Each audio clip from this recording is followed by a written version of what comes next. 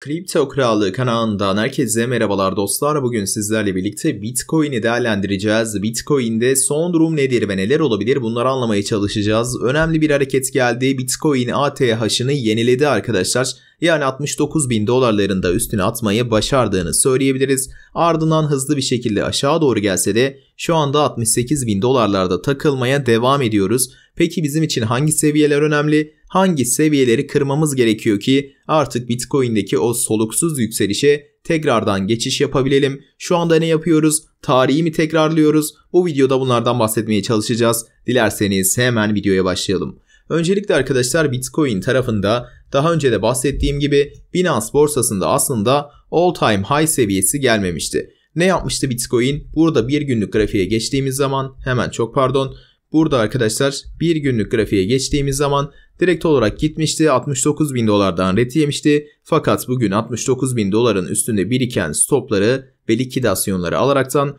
oradan bir geri çekilme meydana verdi. Peki bu gelen geri çekilme ile birlikte Bitcoin'de ne gözlemliyoruz aslında? Burada arkadaşlar bizim zorlandığımız bir orta band var ve bu orta bandı tekrardan denediğimizi söyleyebiliriz. Bu orta band bizim için ne, ne önem arz ediyordu? Burada arkadaşlar gidiyorduk orta bandın üstünde ayrı bir senaryo başlatıyorduk üst banda doğru.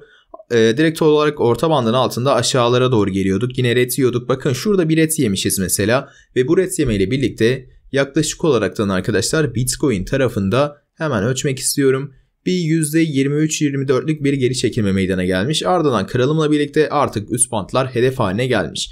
Ve biz şu anda bu orta bantta hala takılmaya devam ediyoruz ve bu orta bandın kırılımları bizlere üst bandı gelebileceğini söylüyor.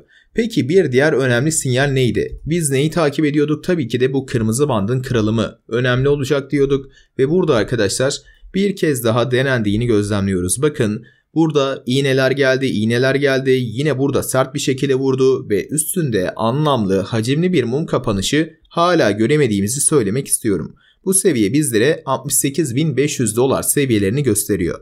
Yani 68.500 dolarların üstünde gelecek olan hacimli ve gövdeli bir mum bize buranın alındığını ve hedeflerin üst bant olabileceğini söyleyecektir.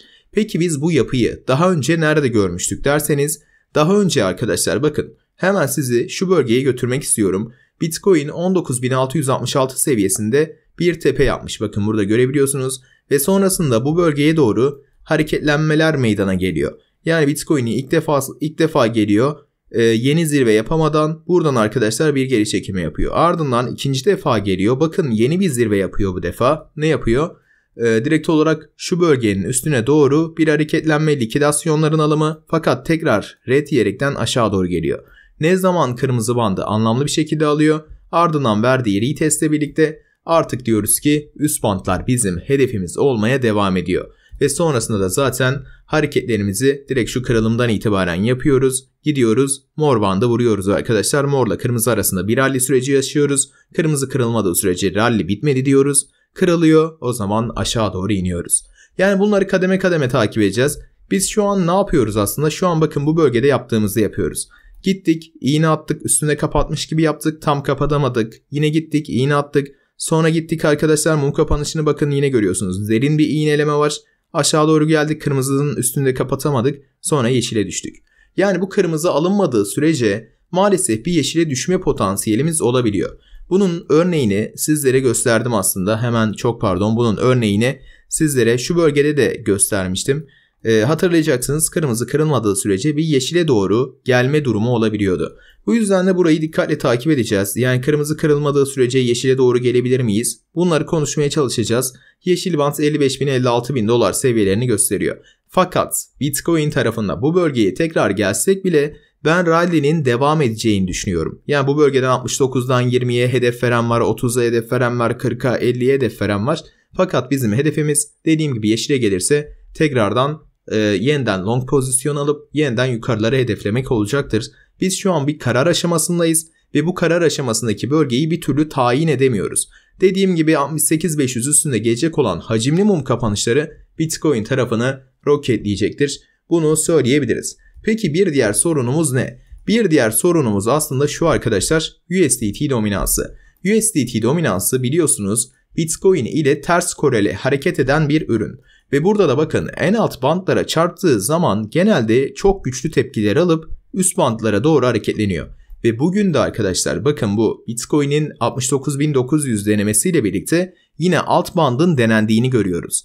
Ve alt band denendikten sonra ne olmuş? Hemen bir de ona bakalım. Bakın hızlı bir tepki alındığını görüyoruz. Hatta 4 saatliğe geçtiğimiz zaman hızlı bir tepkinin geldiğini gözlemleyebilirsiniz. Ve bu tepkinin ardından arkadaşlar gayet güzel bir şekilde yukarıya doğru %4'lük %5'lik bir hareket geldiğini gözlemliyoruz. Bu yüzden de aslında bizim yapacağımız bir diğer hamle de şu olacaktır. USDT dominansı altında 3.90'ın kırılmasını beklemek. Yani 3.90 kırılırsa bu trend hattı yani 4 senelik bir trendten bahsediyoruz. 2017'den bu yana aktif olarak çalışan bir trendten bahsediyoruz. Bu trendin kaybı anlamına gelecektir ve Bitcoin'deki sert yükselişlerin daha da devamı anlamına gelecektir. Hatta şöyle söyleyeyim arkadaşlar bu trend kaybolursa artık Bitcoin tarafında şunu da söyleyebiliriz. Altcoin'lerin daha da eşlik edeceği bir döneme doğru giriyor olabiliriz. Çünkü Bitcoin'in rallilerine hep bir bakın arkadaşlar. Şu süreçte altcoin'ler sessiz takılırken kırmızının üstüne attıktan sonra altcoin'lerin artık Bitcoin'e nazaran daha hızlı hareketler yaptığı evreleri gözlemliyoruz. Yani aslında altcoin'lerle birlikte piyasaya daha fazla insan çekildiği evreyi görüyoruz. Ardından da kırılımla birlikte tabii ki altcoin'lerde kalan insan sayısı çok daha fazla oluyor. Fakat bizim istediğimizde altcoin'lerdeki rally'yi başlatmak için burada olduğu gibi kırmızıyı hacimli kıralım. Ardından verelim retesti yukarıya doğru bakalım. Bunu görmek istiyoruz. Bunu görmediğimiz sürece hafiften bir sıkıntı var dediğim gibi. Fakat bu sıkıntı giderilmeyecek bir sıkıntı da değil. Kademe kademe takip edeceğiz. Kademe kademe ilerlemeye çalışacağız. Onun haricinde Bitcoin tarafında arkadaşlar bakın 1 numara, 2 numara, 3 numara, 4 numara. Hep bu 1, 2, 3, 4 numaralara dikkat ettiğiniz zaman trend üstüne geldiğini görebilirsiniz. Peki burada 1, 2, 3, 4'lere baktığınız zaman ne görüyorsunuz? Aslında çok net bir görüntü var. Bu da arkadaşlar Bitcoin tarafında hep bir düzeltme hareketinin başlangıç yeri olmuş. 2 numarada olmuş, 3 numarada olmuş, 4 numarada olmuş. 5 numara burası mı? Ya yani buradan da artık dominans yukarıya doğru gidecek mi tekrardan? 3.90'lardan tepki alıp bu bölgeyi kırmadan yukarıya doğru gidecek mi? Bu sorunun cevabı bahsettiğim gibi 3.96 gün kapanışlarıyla belli olacaktır. Yani gidiyor dominans burada 3.90'ı kırıyorsa şunu yorumlayacağız Bitcoin bu defa farklı davranıyor. Yani dominansı da kırdırdı artık e, önüne geleni umursamıyor. Burada hedeflerimiz 99 bin 100 bin dolar seviyeleri olabilir. Yani bahsettiğim gibi buradaki mor band seviyeleri olabilir. O da 103 bin dolar seviyelerini gösteriyor. Yani ne istiyorum? Şu bölge kırılsın. Çok daha güvenli bir e, alana adım atalım. Çok daha güvenli bir şekilde e, işleme dahil olabilelim. Bunu görmek istiyorum açıkçası. Hem dominansın kırılımı hem burada kırmızı bandın kırılımı zaten eş zamanlı. Aynı anda gerçekleşecek olaylar ve bunu kademe kademe takip edeceğiz.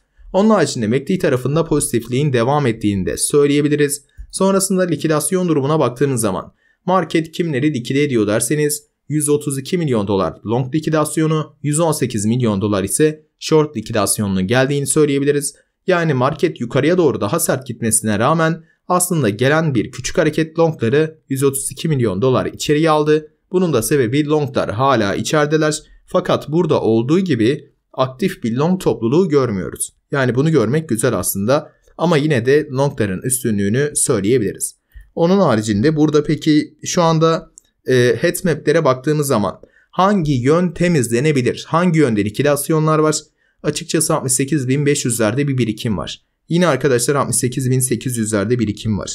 Fakat yukarılara baktığımız zaman 70.600'de o kadar yüksek bir birikim yok henüz. 3 günlük grafiğe geçmek istiyorum. Yani burada mesela baktığımız zaman dediğim gibi 68.600'ler güzel bir likidite alanı olarak görünüyor. Yukarısı ise şu anda küçük küçük likidasyonları toplandığını söyleyebiliriz. 73 milyon dolar şeklinde. Aşağıda peki yüklü likidasyonlar var mı? 64.600'de var. Mesela şu dibin altında e, güzel bir likide alanları var. Bakalım hangi yön hızlıca temizlenecek. Onun haricinde halving'e 38 gün kaldı arkadaşlar.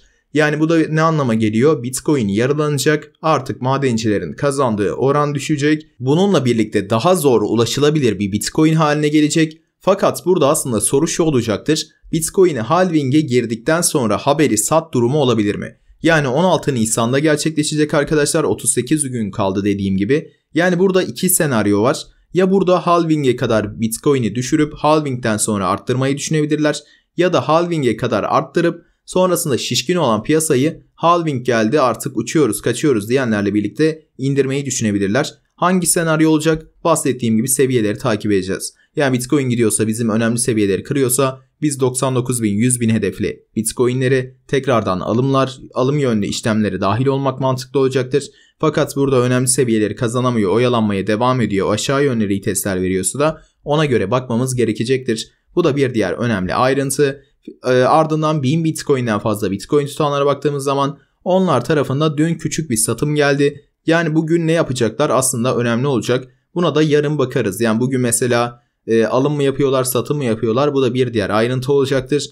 And Greed Index'te ise 82 seviyesinde ve aşırı açgözlülük seviyesinde devam ediyoruz. Videomuz bu kadardı. Sizleri seviyorum. Kendinize çok ama çok dikkat edin. Hoşçakalın. Görüşmek üzere.